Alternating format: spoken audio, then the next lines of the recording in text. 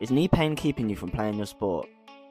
Like me three years ago, you probably tried the normal route back to sport, doing things like half squats, lunges, plyometrics, but every time you tried to play, the pain just kept coming back. I get it, I was in the exact position just a few years ago, and it sucks standing on the sideline wishing you could just play. If you're going through this, try taking the route that allowed me to get back to playing football after five years out. First, get loads of blood flow and nutrients to the knee through short range exercises like the backward sled and Poliquin step ups. Then start building strength in a long range exercise like the ATG split squat. Then, get really fucking strong in the ATG squat. You can also pump blood to the lower legs through calf raises and tib raises, which will take some pressure off your knee when running. All these exercises have regressions, so do them at your pain free level and then build up from there. Share this with a friend that's going through this and give them hope that they will get back to doing what they love.